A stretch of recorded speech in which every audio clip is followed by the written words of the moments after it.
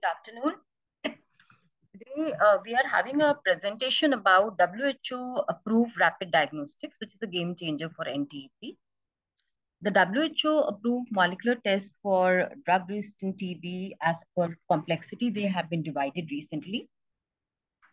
These include the high complexity test, the moderate complexity test, and the low complexity test.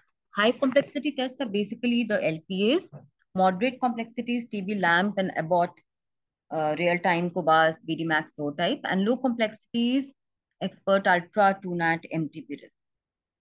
Looking at NTP, which is National Tuberculosis Program at a glance, this is a very overwhelming slide, but that's the algorithm in which all presumptive TB, all TB patients, all non-responders, they are basically subjected to NAT. NAT is a nucleic acid test, which could be a true NAT or it could be a CB NAT. And then based on both of the tests, either we will get a rifampicin resistant result or detected. So let us see what happens to each arm. So in case we get rifampicin resistance not detected, which means it is sensitive, we still send another sample to the culture DST lab for first line LPA. So based on first line LPA, we know about INH resistance also. So in case of INH resistance, if it is detected, a different regimen is given. If it is not detected, a different regimen is so uh, first line LPA basically tells you about rifampicin INH and second line LPA tells you about fluoroquinolone and aminoglycoside. And if INH resistance is detected, reflex testing is done for second line LPA and for also liquid culture and DST. And based on this, the regimens are started. Talking about the other arm in which rifampicin resistance is detected, we have first line LPA, second line LPA, and liquid culture DST to pyrazinamide, bedaquiline, clofazimine, moxifloxacin, linezolid, and delamanid. So again, you know, in this case, based on the rifampicin resistance, different tests are put. And uh, first line LPA and second line LPA will be discussing later.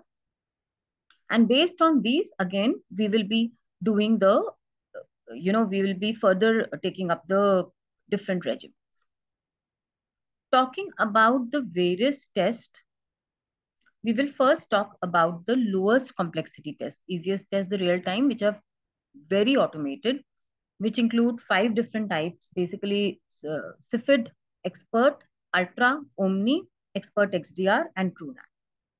So basically, all these are based on multiplex PCR. They have multiple targets which can be amplified and detected.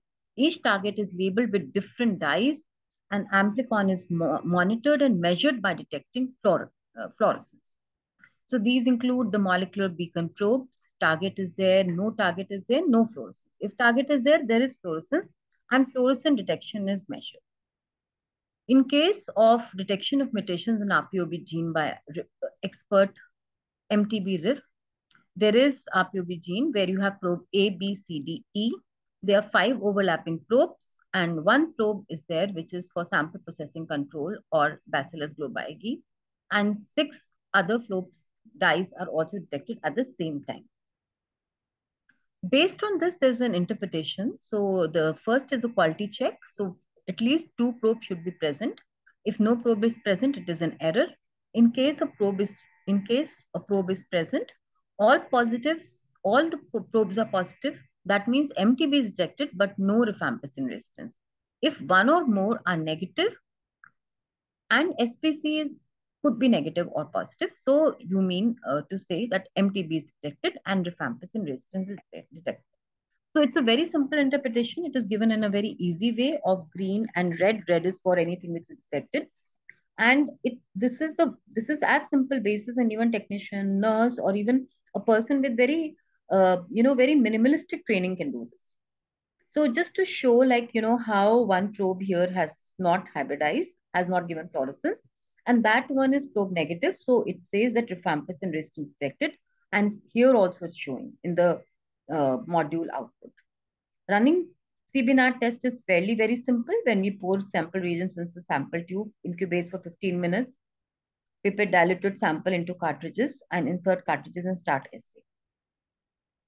As far as ultra or Xpert are concerned, limit of detection is 130 CFU and 16 CFU is ultra. So it's it's uh, 10 times more, uh, you know, sensitive. It is smear negative, extra pulmonary 2 to 2.5 hours. Independent module is there. Cartridge design includes smaller PCR tube. Xpert Ultra is larger PCR tube that doubles DNA. Result of TB, Xpert is high, medium, low, very low. And in case of Ultra, it is high, medium, low, very low, trace. So you even can get the trace results. Specificity is 98%, and even Ultra is 94.8%. You know, people talk about saying that has a lot of false positives. That is not the case. There is more false positivity because any test which is very, very sensitive will get some more false positivity, but it is not so much because it can also discriminate some silent mutations from the true mutations. As far as the ultra is concerned, again, uh, you know, this is a cartridge ultra where you can see that there is a 50 ml tube and 25. This is the ultra cartridge. So, you know, this is just to show ki how the cartridge, the PCR tube is bigger. So it takes more amount of DNA and therefore more sensitivity. Omni was a platform which was developed uh, some time back. It's not been extremely popular though. It's a single cartridge one. It's battery operated and it was meant to be kept, you know, on the table, like, you know, beds, like literally like, you know, sitting in OPD or something, a patient can be tested. It has four hours of battery and it has automatic connectivity. Uh, now, really, people are talking a lot about Xpert XDR. So, Xpert is got a 10 color module where it, apart from the it's not rifampicin, but for INHA using the katG, FABG, 1 OxyR genes, INHA gene, gyrB, and RRS and EIS promoter gene, right? And this versus phenotypic DST, it was found to have very good sensitivity and uh, very good specificity, but sensitivity for aminoglycosides and fluoroquinone is not very high.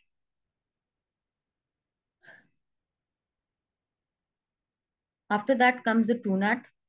TrueNAT, in case of TrueNAT, we will just put a chip and then it's the same like Xpert. The sensitivity specificity is comparable. It is like an Xpert. And, uh, you know, when you add the DNA to the TrueNAT chip, you just get the result. It's a, it's a, this machine for just padding the chip and after that the result is obtained. Both TrueNAT and Xpert TrueNAT is chip-based, Xpert is cartridge-based, TrueNAT is battery-operated, Xpert is continuous power supply. In case of TrueNAT, the wireless data transfer is there. In case of Xpert, it's pen drive. So price of the chip is for private sector. For the Xpert, it is commercial, 1600 rupees, and 1236 is IPAC. They both are there. As far as the molecular TB diagnostics is concerned, it's a high complexity test which is a molecular genotypic test for NAT. There's a hybridization test, which is, you know, for DNA extraction, amplification by PCR, and hybridization. As far as the genotype plus first line LP is concerned, it includes rifampicin, INH high level, INH low level, and ethionamide resistance. So when we, just coming back to the previous slide again, so why do we call it higher complexity test? Because you have to first separately take out DNA, although many of the tests have been simplified by the manufacturer. Then you further are going to do amplification by PCR. Then you're going to have do hybridization by the fact of this lock and key uh, mechanism in which you will find the hybridization and the evaluation will be done based on that, which is fairly manual and it can be subjective also. So as far as the genotype MTBDR plus first line LP is concerned, it gives you an answer to rifampicin, katG and INHA and rifampicin is uh, wild type probes, uh, which are eight, and mutant probes, which are four. Then katG is wild type is one, and mutations probes are two. Then INH is wild type two, and mutation probes are four. So we have rifampicin, we have INH high level, and we have INH low level re resistance and ethionamide resistance. So uh, the thing is key, uh, the thing is that, you know, basically the absence of any wild type, wild type is naturally occurring. So if we see left, it is a natural one. So in case of absence of any hybridization or a presence of any mutant band. So this contributes to resistance. That is the basic principle for all the LPAs. First line LPA, also called as Hain's test, is rifampicin, INH, and um, so this also tells you about the presence of TB. So the sensitivity of uh, LPA compared to phenotypic DST for rifampicin is 97.6%, but INH is 83% only. But specificity for both is, you know, about, about 90%.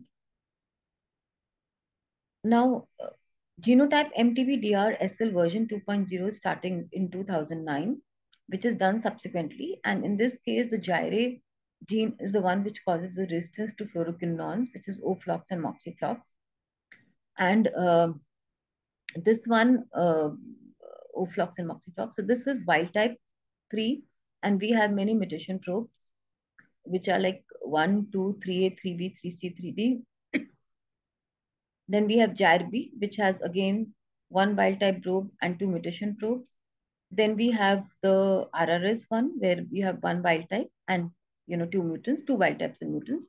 And EIS tells you about low level kanamycin. Now, this particular uh, line probe assay tells you about by means of gyre and GYRB about the fluoroquinone resistance by the means of uh, aminoglycosides and all. It's about RRS and uh, EIS is low level kanamycin and aminoglycosides. And then gyre A and B, the resistance to fluoroquinone is there. And, uh, you know, again here also, if we talk about it, presence of 3B, 3C, 3D gyre mutations contributes to the high level fluoroquinone resistance. Again, the sensitivity is, the specificity is very high. The sensitivity is higher for fluoroquinones in the range of 80%. And in case of second line DSTs, uh, the second line injectables, it's about 75%. GenoScholar is a new test which has been now approved by WHO, which only uh, tells you about pyrazinamide. And because this is also one of the antibiotics which is being used for the program. So this is, uh, but still to be introduced in the Indian national program. So coming to, uh, you know, synopsis of line probe assays, how is it different from the previous test of Xpert and CBNAT? It takes five to seven days. The sensitivity is about 10,000 bacilli per ml. Samples are smear positive sputum or culture acids. It's a complex test which is technically demanding. Training is five to seven days. Infrastructure is three separate rooms with BSL-3. Testing pattern is batch testing with high number of samples or culture in three to four days. Then contamination, it is very, very sensitive. Moderate complexity NATs include the WHO endorsed 2021 test, which is like about real-time PCR is PAB, IS 6110, BD MAX, Heinflor, Roche, Cobas.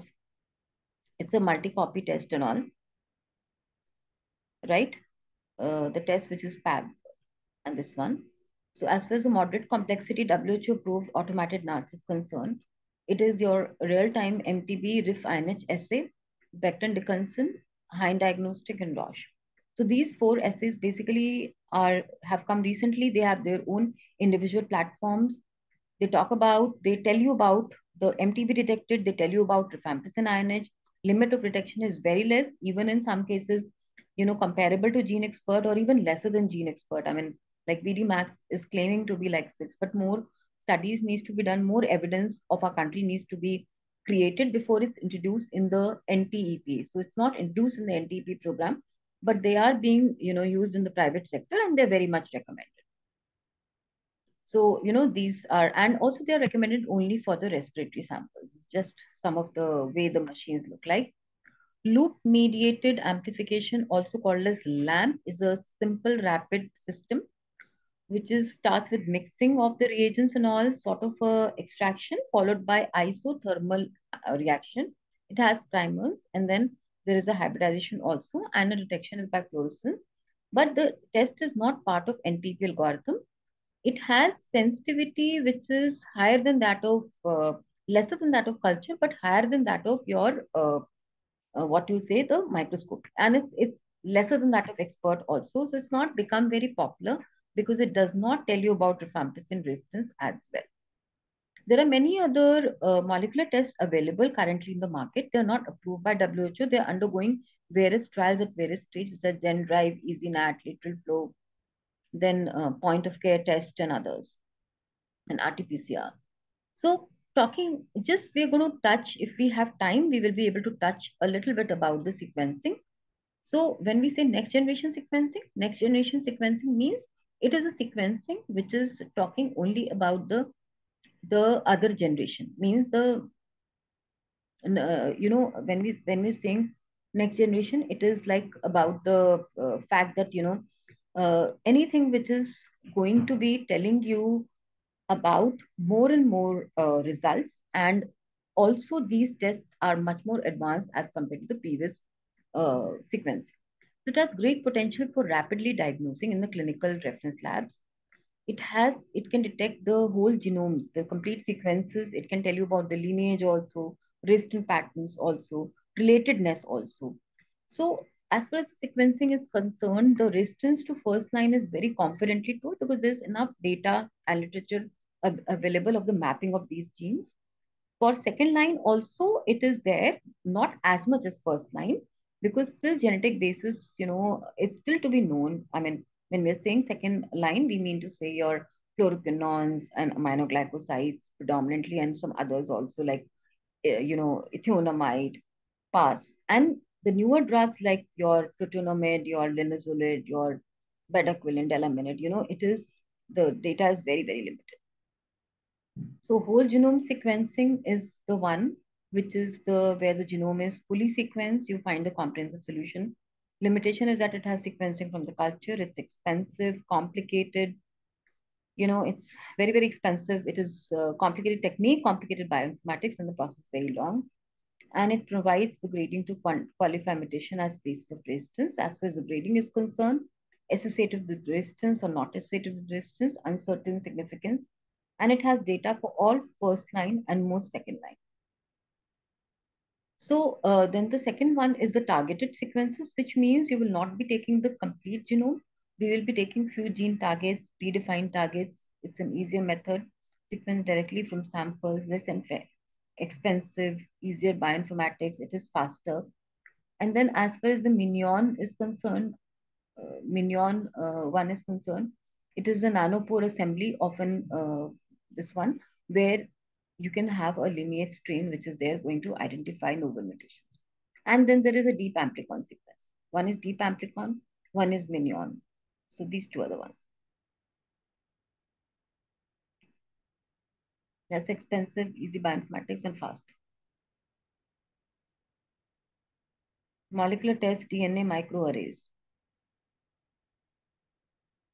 MTB uh, complex DNA is detected by I6110 fragment. New mutations are responsible for rifampicin, RPOB, uh, INH. Then uh, by I6110, again, you know, mutations are there, which is for INHA. So these are again different kind of tests which is available. So uh, because this is just a pre-recorded uh, thing, I'm not able to, I will not be able to answer any questions but you are free to ask me any questions from the contact number which will be provided, which has been provided to you. Thank you so much.